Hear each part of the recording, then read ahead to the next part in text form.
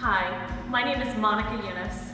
I'm a soprano, the co-founder of Sing for Hope, and I'm a board member of the Grameen Creative Lab. What is the Global Social Business Summit? I see it as a collaboration of creative people who are seeking to create the new economy together.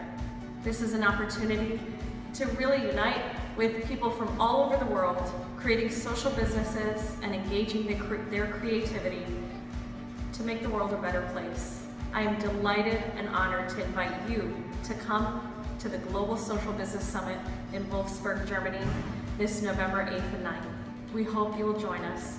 We'll be honored to see you there. Thank you.